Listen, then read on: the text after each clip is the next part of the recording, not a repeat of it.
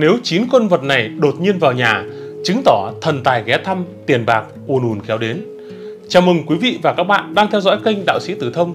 Quý vị thân mến, chắc hẳn đã có không ít lần những con vật lạ như là chó, mèo, rơi, rắn bỗng nhiên lạc vào nhà các bạn. Và phản ứng đầu tiên của mọi người sẽ là vội vàng cầm ngay cái vật gì đó bên mình như là một chiếc chổi hay một chiếc gậy đánh đuổi chúng đi. Nhưng trên thực tế, điều này là hoàn toàn sai lầm. Soi chiếu theo cái góc độ tâm linh, một số con vật là cái dấu hiệu của phát tài phát lộc. Khi bạn thấy những con vật này đi vào nhà mình, cũng đồng nghĩa với việc sự nghiệp của bạn sắp có sự khởi sắc vô cùng là tốt đẹp. Cuộc sống của gia đình được nâng lên tầm cao mới, tài lộc đang xếp hàng chuẩn bị ùn ùn kéo đến. À, chắc chắn là bạn sẽ không muốn tự tay phá hoại đi cái sự may mắn đang tới với mình đúng không nào?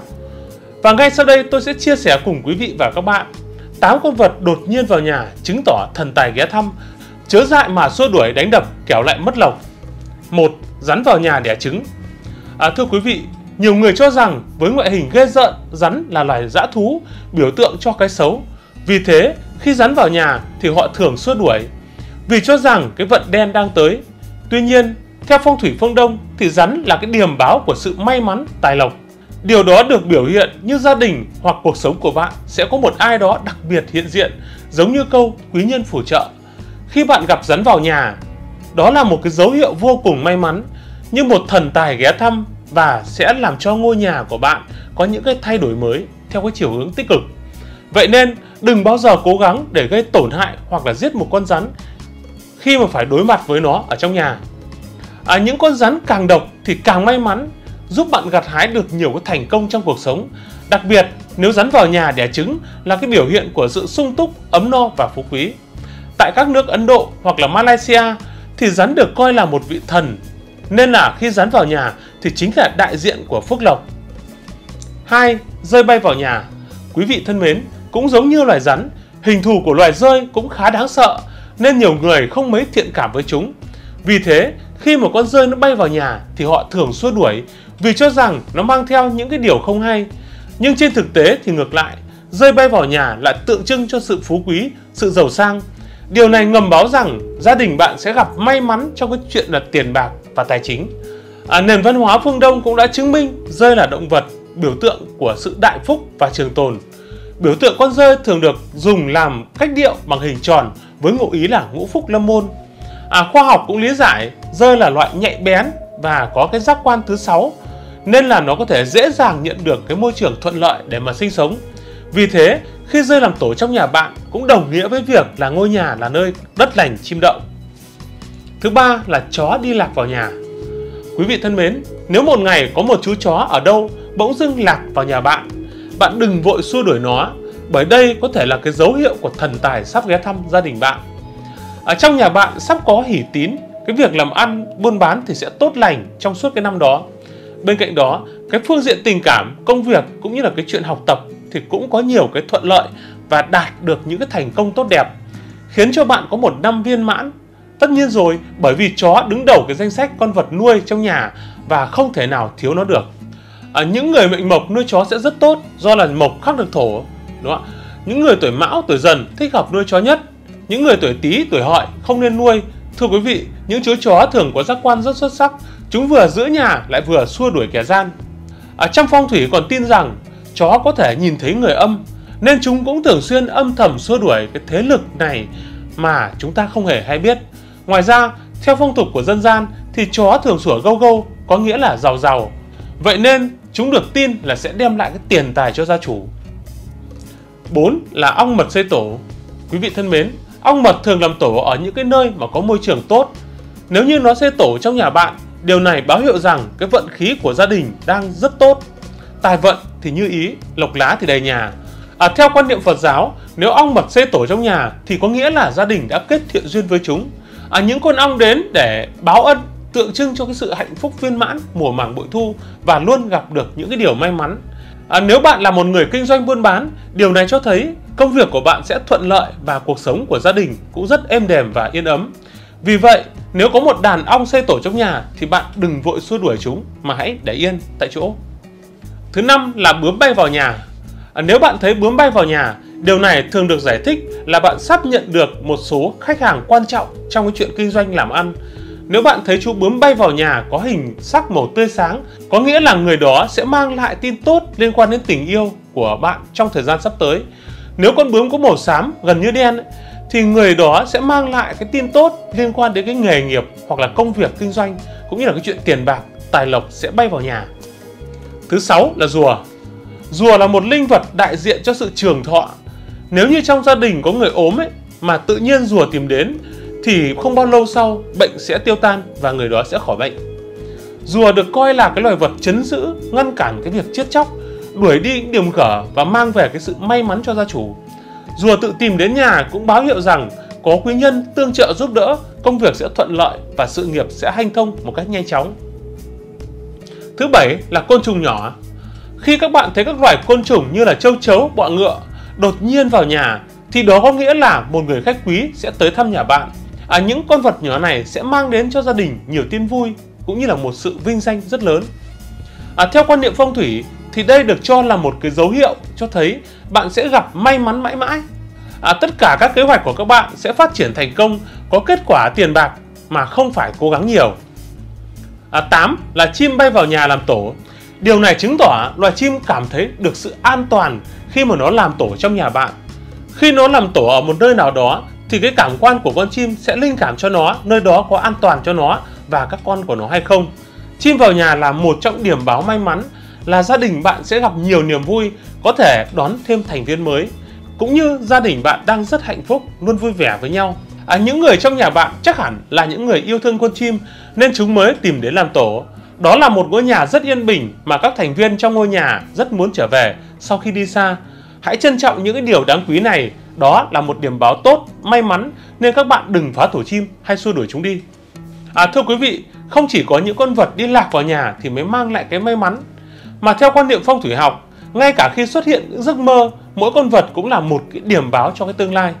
Cái việc giải mã giấc mơ sẽ giúp chúng ta có cái nhìn sâu sắc, toàn diện hơn về chính bản thân mình cũng như bật mí cái căn nguyên của nhiều vấn đề trong cái cuộc sống mà chủ nhân của nó đang gặp phải. Điều này có khiến cho quý vị thấy tò mò và háo hức không? Xin mời quý vị và các bạn cùng tìm hiểu trong phần tiếp theo của chương trình. À, thưa quý vị, các con vật trong giấc mơ nó thể hiện cái bản năng nguyên thủy nhất, những cảm xúc sâu kín nhất của con người. Đó là một cái minh chứng cho thấy cái khát khao cái sự tự do và được sống đúng với cái bản chất của mình. Khi giải mã giấc mơ về các con vật, cần lưu ý những cái câu hỏi sau. Đó là động vật hoang dã hay là động vật nuôi trong nhà? Con vật đó yếu ớt hay là khỏe mạnh? Con vật đó sống trong môi trường nào? Các bạn có tương tác với nó hay không hay là chỉ đứng nhìn? À, con vật đó tiếp cận với bạn từ hướng nào, con vật đó đi di chuyển như thế nào, vân vân. Rất nhiều các câu hỏi. À, tất cả những yếu tố kể trên đều góp phần không nhỏ vào cái việc lý giải ý nghĩa của giấc mơ khi thấy động vật. À, dưới đây là ý nghĩa của những con mà thường gặp trong mơ. À, tuy nhiên, cái ý nghĩa của giấc mơ còn phụ thuộc nhiều vào các chi tiết nêu trên à, ở 6 câu hỏi trên. Một, mơ thấy kiến. Quý vị thân mến, với bạn thì kiến có thể gợi ra cái cảm giác khó chịu, ngứa ngáy. Nếu trong giấc mơ bạn cảm nhận được một con kiến đang bò lên người mình thì điều đó có thể nhắc nhở bạn về một công việc chưa hoàn thành nào đó. Kiến cũng là loài vật tượng trưng cho cái sự chăm chỉ và ý thức cộng đồng. Vậy nên nếu bạn mơ thấy một đàn kiến thì chứng tỏ bạn là người có gia đình, bạn bè luôn ở bên ủng hộ, động viên trên mọi bước đường của công việc cũng như là trong cuộc sống. Giấc mơ thấy kiến cũng có thể là cái dấu hiệu cho thấy bạn không lấy hết cái lý do này đến lý do khác để bao biện cho bản thân mình nữa mà hãy thể hiện bằng cái hành động thực tế để biến giấc mơ thành hiện thực kiến là lời nhắc nhở rằng nếu bạn bước đi từng bước nhỏ nhưng mà thật vững chắc thì và luôn nỗ lực, không ngừng thì chắc chắn bạn sẽ đạt được thành công bởi kiến là cái minh chứng hùng hồn nhất cho cái việc điều nhỏ bé có thể tạo dựng nên cái điều kỳ diệu trong cái cuộc sống hai, mơ thấy gấu quý vị thân mến, Gấu là loài vật tượng trưng cho cái sự điềm đạm và cứng rắn. Gấu cũng là loài vật thể hiện cái sự tự vấn về lương tâm. Nếu bạn mơ thấy một chú gấu đang ngủ hoặc đang ngủ đông thì đây là cái dấu hiệu cho thấy bạn nên tìm hiểu thật kỹ trước khi đi trình bày một cái ý tưởng nào đó với mọi người xung quanh. Nếu con gấu đuổi theo bạn thì có vẻ như bạn đang cố tình trốn tránh một cái sự thật nào đó trong cuộc sống. Và đã đến lúc các bạn cần phải giải quyết dứt điểm cái vấn đề đó rồi. À, nếu như con gấu đứng thẳng bằng hai chân thì bạn cũng nên đứng lên bảo vệ cái quan điểm mà những điều mà mình tin tưởng. Giấc mơ thấy gấu đôi lúc cũng cho thấy rằng bạn biết được cái điểm mạnh của bản thân nhưng đừng từ chối cái việc thể hiện nó ra ngoài. à, trong trường hợp này thì con gấu xuất hiện trong mơ nhằm khuyến khích bạn thể hiện cái bản thân hơn nữa trong cuộc sống. Đừng chờ đến lúc con run xéo lắm cũng quản thì mới thể hiện cái sức mạnh của bản thân. Thay vào đó, các bạn nên dần dần xây dựng cái tầm ảnh hưởng của mình một cách là mạnh mẽ hơn, vượt qua tất cả những cái rào cản để có được cuộc sống một cách trọn vẹn nhất. Thứ ba là mơ thấy mèo. Thưa quý vị, mèo là biểu tượng của nữ thần quyền lực, của sự bí ẩn và của sự giám hộ về cái mặt tinh thần. Nếu con mèo xuất hiện trong giấc mơ, chứng tỏ bạn đã nên nhìn thấu hiểu vào cái tâm can của chính mình, nên dành nhiều thời gian để khám phá về những cái góc khuất còn chứa đựng trong cái tiềm năng của bản thân mà chưa được khai phá. Có thể đó là một nơi tăm tối chưa được biết đến, nhưng bạn đã biết đấy, cái bóng tối chẳng là gì so với cái đôi mắt tinh anh của một chú mèo. Vì thế, nó sẽ giúp bạn dần dần khám phá ra những cái điều sâu kín nhất của bản thân mình. Thường thì mèo trắng tượng trưng cho sự giác ngộ về cái mặt nhận thức, còn mèo đen là biểu tượng cho sự huyền bí và bí mật và những cái sức mạnh tiềm ẩn bên trong mỗi con người. Mèo hoang thì khuyến khích chúng ta vận dụng cái sức mạnh của mình nhiều hơn nữa trong cuộc sống. Còn mèo nhà là trốn bình yên, an toàn để nương náu trên đường đời. Thứ tư là mơ thấy chó. Quý vị thân mến, có thể các bạn đoán rằng chó là loài vật tượng trưng cho tình bạn và sự trung thành. Nếu trong giấc mơ mà bạn nghe thấy tiếng chó sủa thì có vẻ như bạn đang vướng phải chuyện thị phi chắc trở và trở thành đối tượng cho những người khác ngồi ngồi lê đôi mách buôn chuyện. À, nếu trong mơ bạn bị chó cắn thì có vẻ như bạn đang cảm thấy tội lỗi vì một chuyện gì đó. Chú chó xuất hiện trong giấc mơ nó đại diện cho bản năng của mỗi con người. À, vì thế có thể bạn đang rất muốn được làm những cái điều mà trái tim mình mắc bảo thay vì phải suy nghĩ cân đo đong đếm quá nhiều. Nếu trong giấc mơ bạn bị chó tấn công thì có vẻ như trong thực tại bạn đang hành động quá vội vàng hấp tấp. Từ giờ cần phải suy nghĩ kỹ càng, thận trọng hơn. Nếu một chú chó dẫn đường cho bạn trong giấc mơ, có vẻ như bạn đang cảm thấy thoải mái, hài lòng với cái hiện tại hoặc là những kế hoạch bạn đề ra thì đang tiến triển một cách khả quan và chẳng có gì phải lo lắng cả. Thứ năm là mơ thấy voi. Quý vị thân mến, voi xuất hiện trong giấc mơ nhằm gửi đến cái thông điệp rằng ở thời điểm hiện tại bạn có đủ sức mạnh để đối mặt với bất kỳ những khó khăn, những trắc trở nào trong cuộc sống. Voi là cái loài vật tượng trưng cho sức mạnh, cho chủ quyền, cho sự ổn định, chậm mà chắc. Nếu trong mơ mà bạn thấy đang cưỡi voi thì có thể bạn đang là trụ cột trong một gia đình và mọi người đều phụ thuộc rất nhiều vào bạn.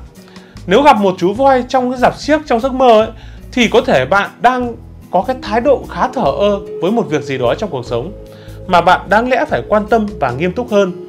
Đôi lúc cái giấc mơ thấy voi là cái lời nhắc nhở bạn nên quan tâm hơn đến người nào đó đang rất gần trong cái cuộc sống của mình. Thứ sáu là mơ thấy cóc. Thưa quý vị, cóc là cái biểu tượng của sự phước lành, của tình yêu và của sự thịnh vượng. Nếu trong mơ mà bạn cầm một con cóc trên tay thì chứng tỏ một cái ước mơ cháy bỏng nào đó của bạn sắp thành hiện thực. Những con cóc xuất hiện trong mơ còn đánh dấu cái thời kỳ chuyển giao về nhận chức, tinh thần và tình cảm của bạn. Nếu bạn nghe thấy tiếng cóc kêu trong mơ, chứng tỏ bạn nên tìm hiểu kỹ hơn về các vấn đề tâm linh. Còn nếu trong giấc mơ mà thấy cóc xuất hiện dưới nước thì bạn có vẻ đang phải trải qua cái cú sốc về tâm lý nhưng vẫn có thể làm chủ được tình hình à, cóc xuất hiện trong giấc mơ khuyến khích bạn hãy tự tin phát huy cái mọi nguồn lực kể cả những nguồn lực tưởng như là không liên quan nhất để có thể thực hiện được mọi mục tiêu của mình con cóc nhắc nhở bạn rằng dù cách làm kế hoạch mà bạn đặt ra có khác thường như thế nào đi chăng nữa thì điều đó không có nghĩa là bạn sẽ thất bại. Hãy tin tưởng vào chính mình. Thứ bảy là mơ thấy chăn rắn. Quý vị thân mến chăn rắn trong giấc mơ biểu tượng cho cái năng lượng tâm linh. Khi mơ thấy rắn chăn, đó là cái dấu hiệu cho thấy bạn nên khai mở cái nguồn năng lượng tâm linh của bản thân. Và điều đó sẽ tác động đến cảm xúc, ham muốn cũng như là cái bản năng trong cuộc sống của bạn. Nếu có thể khai thác những cái nguồn năng lượng này thì bạn sẽ dần dần hình thành những cái nhân cách sắc bén hơn và cái số mệnh của bản thân sẽ được cải thiện một cách đáng kể. Nếu trong giấc mơ bạn bị rắn cắn thì có lẽ đừng nên vội vàng đặt lòng tin ở những người mới quen. Nếu trong giấc mơ con rắn lột da ấy, thì có vẻ như bạn đang cảm thấy bị kìm kẹp, gượng ép trong thực tại và bạn đang cố gắng vươn ra thoát mình khỏi cái hoàn cảnh đó. Rắn và chăn đều là những loài động vật cực kỳ nhạy cảm với cái môi trường sống xung quanh. Chúng sống phụ thuộc vào những cái yếu tố tự nhiên và đặc biệt là nhiệt độ và khó sinh tồn. nếu những yếu tố này không thỏa mãn, trong giấc mơ thấy rắn có thể là lời cảnh báo cái tình hình rằng bạn sẽ nhận thức rõ hơn về cái thế giới xung quanh. Hãy trân trọng và biết ơn những gì mà đã giúp bạn sống sót để vượt qua, phát triển trong những thời gian này. Thưa quý vị, như vậy tôi đã vừa chia sẻ cùng quý vị và các bạn về những con vật vào nhà báo hiệu bạn sắp giàu to. Cảm ơn quý vị và các bạn đã quan tâm theo dõi. Quý vị đừng quên đăng ký kênh và nhấn vào chuông thông báo để ủng hộ cho chương trình. Còn bây giờ xin chào và hẹn gặp lại các bạn trong những video tiếp theo. Xin cảm ơn.